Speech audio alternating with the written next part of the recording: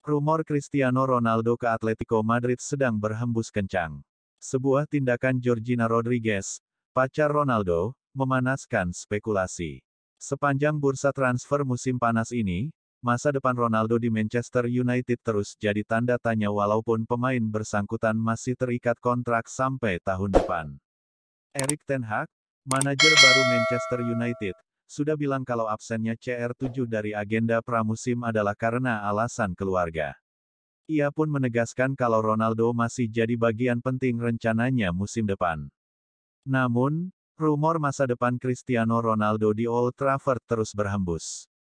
Sejumlah klub sudah dihubung-hubungkan, dengan Atletico Madrid dan Sporting CP menjadi dua nama yang muncul paling anyar.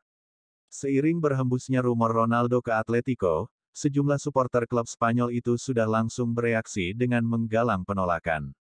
Alasan penolakan itu tak lain adalah karena Cristiano Ronaldo pernah menjadi bintang utama Real Madrid, yang notabene adalah rival satu kota Atletico Madrid. Penolakan dari supporter Los Colchoneros itu sendiri tidak menyurutkan rumor Ronaldo ke Atletico. Bahkan, Spekulasi kini berhembus kencang lagi seiring tindakan dari Georgina Rodriguez.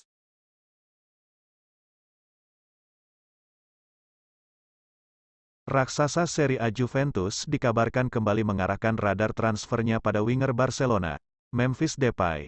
Pemain asal Belanda itu sempat diperebutkan oleh sejumlah klub saat masih di Lyon. Pada akhirnya ia memilih gabung Barcelona pada musim panas 2021 lalu. Juventus sebenarnya bukan nama baru dalam perburuan Memphis Depay. Mereka sebelumnya sudah pernah dikaitkan dengan Depay. Saat itu Juve berniat merekrutnya secara gratis dari Lyon. Tapi seperti yang disebut sebelumnya, Depay memilih gabung Barcelona. Kini Juventus kembali dikaitkan dengan Depay. Hal tersebut dikabarkan oleh Mundo Deportivo. Laporan itu menyebut Juve mengincar Depay karena mendengar kabar bahwa Barcelona siap melegonya pada musim panas 2022 ini. Media tersebut juga mengklaim harga Depay cukup terjangkau yakni sekitar 20 juta euro saja. Laporan itu juga menyebut Juventus tak sendirian dalam perburuan Memphis Depay. Ada setidaknya empat klub lain yang juga mengincar penyerang serba bisa tersebut. Dari Italia saja, ada tiga klub, mereka adalah AC Milan, Inter Milan, dan Napoli, ketiganya disebut ingin meminjamnya lebih dahulu. Sementara itu dari Inggris, kabarnya Depay juga masuk dalam radar Tottenham.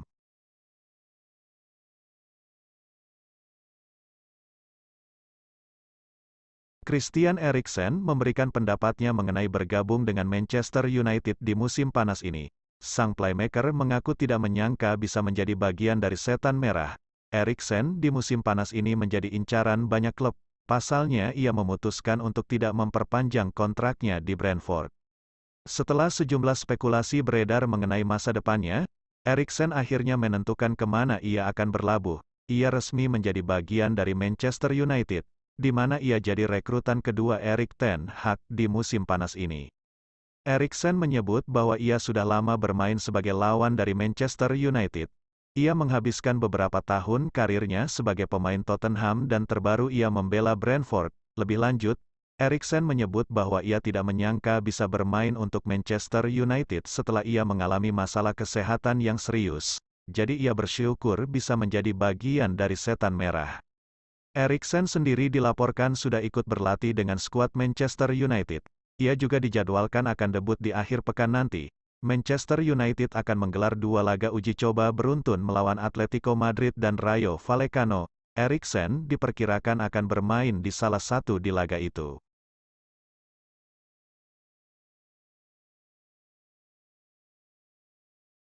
Dilansir dari Mirror, AS Roma disebut telah menunjukkan minat serius untuk transfer Eric Bailly dari Manchester United. Transfer Bailey mungkin terwujud musim panas ini. Gosip transfer Bailey dimulai sejak kedatangan Erik Ten Hag sebagai pelatih baru Manchester United. Ten Hag membawa sejumlah perubahan besar, termasuk dalam skuad. Celah inilah yang coba dimanfaatkan oleh AS Roma dan Jose Mourinho. Oleh sebab itu, gosip transfer Bailey semakin gencar dibicarakan. AS Roma sekarang sedang dalam proses perkembangan skuad di bawah bimbingan Jose Mourinho. Segalanya tampak berjalan apik, Transfer pemain musim panas ini cukup menjanjikan. Bailey adalah pemain pertama yang direkrut Mourinho saat melatih Manchester United pada tahun 2016 lalu. Jadi, ada kepercayaan lebih antara Bailey dan Mourinho. Roma sudah merekrut Paulo Dybala, salah satu pemain terbaik Serie A beberapa musim terakhir. Mourinho juga membentuk tim tangguh yang bisa bersaing di papan atas. Selain itu, faktor pendukung lainnya adalah harga transfer Bailey yang tidak terlalu mahal. Kabarnya Roma hanya perlu membayar sekitar 10 juta euro untuk mendapatkan bek asal Pantai Gading tersebut.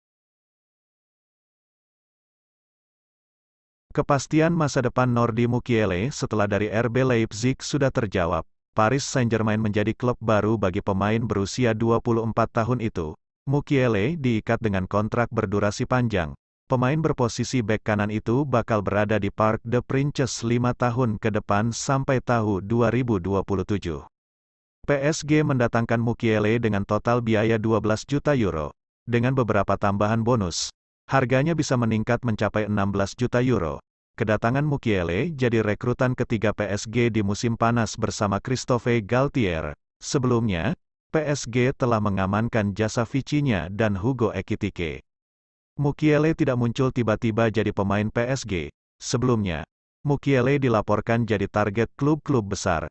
Chelsea jadi salah satu tim yang santer dikabarkan ingin membawa sang pemain ke Inggris. Namun sampai PSG melontarkan tawaran resmi ke Leipzig, The Blues tidak mengambil tindakan apa-apa. Selain itu, Manchester United lebih dulu memasukkan Mukiele ke dalam radarnya. Setan Merah beranggapan sang pemain adalah profil yang cocok untuk memberi kompetisi di pos bek kanan.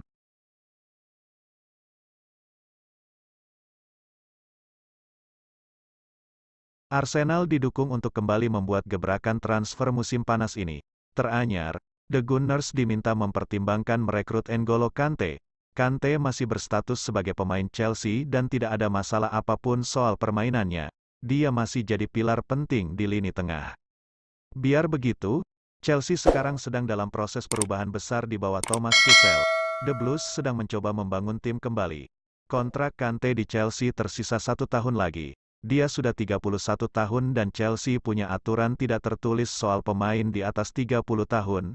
Kontrak baru tidak akan berdurasi panjang. Kondisi ini juga dibahas oleh analis Premier League, Frank McAvenny. Menurutnya, saat ini bursa transfer sungguh tidak bisa ditebak. Menurut McAvenny, transfer Kante ke Arsenal akan menguntungkan kedua pihak. The Gunners bakal mendapatkan pemain top dan Kante bakal mendapatkan ruang untuk terus membuktikan diri.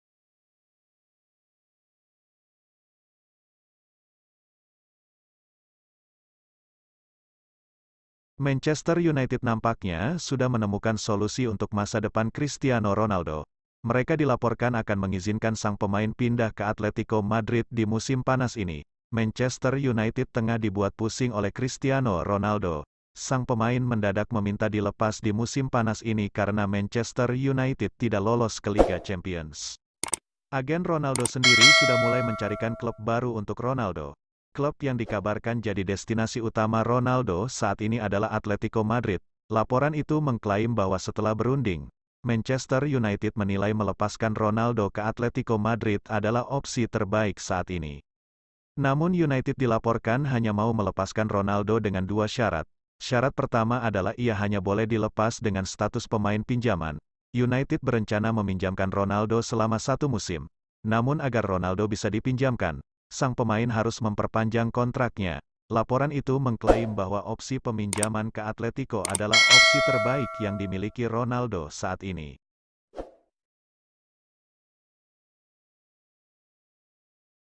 Roberto Firmino yang pernah jadi bagian kejayaan Liverpool, kini berada di ambang pintu keluar. Juventus dilaporkan menyiapkan ancang-ancang untuk melakukan tawaran resmi kepada The Reds. Rumor kepergiannya dari Anfield sudah menguak sejak awal bulan Juni tahun 2022 lalu.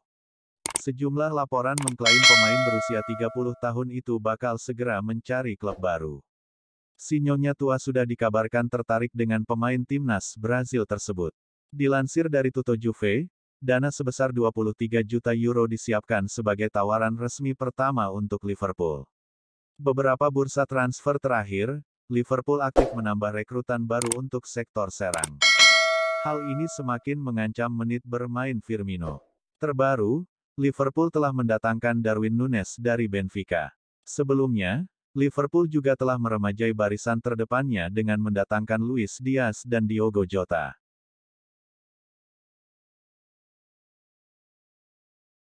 Chelsea tidak begitu beruntung di bursa transfer musim panas ini untuk memperkuat sektor pertahanan. Setelah ditikung Barcelona untuk transfer Jules Kounde, Chelsea harus hati-hati ditikung Juventus dalam perburuan Presnel Kimpembe dari Paris Saint-Germain. Sejauh ini, keinginan Chelsea memperkuat lini belakang masih mentok pada perekrutan Kalido Koulibaly. Padahal, The Blues sudah kehilangan Antonio Rudiger dan Andreas Christensen yang berarti perlu setidaknya satu pemain lagi. Kim Pembe akan jadi tambahan amunisi yang sangat berkualitas bagi Thomas Tuchel. Pelatih asal Jerman itu juga telah mengungkapkan bahwa timnya masih perlu peningkatan kualitas jika Chelsea ingin bersaing di papan atas lagi.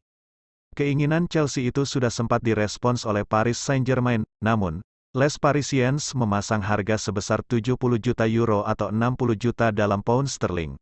Menurut The Times, Chelsea belum menyanggupi tawaran tersebut dari PSG, The Blues ingin harganya lebih rendah. PSG menolak permintaan tersebut. Bagi raksasa Liga Prancis itu, harga tersebut harus disanggupi para peminat jika ingin mendatangkan pemain penting mereka itu. Juventus masuk di momen yang tepat. Selagi Chelsea tidak kunjung mendekati kata sepakat dengan Kim Pembe, Bianconeri mengambil langkah tegas untuk masuk ke dalam perburuan.